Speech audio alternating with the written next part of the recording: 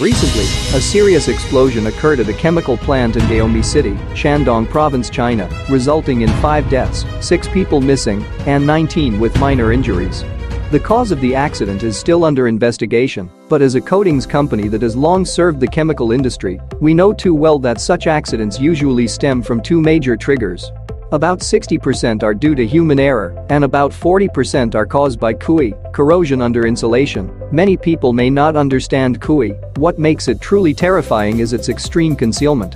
Pipes are wrapped with insulation, while inside they suffer long-term exposure to harsh conditions, such as alternating hot and cold temperatures, condensation, and moisture ingress.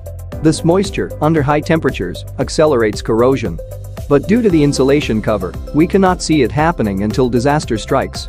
In fact, we already have integrated insulation plus anti-corrosion coating systems that can replace traditional insulation structures, providing both thermal insulation and corrosion protection, completely eliminating these invisible risks.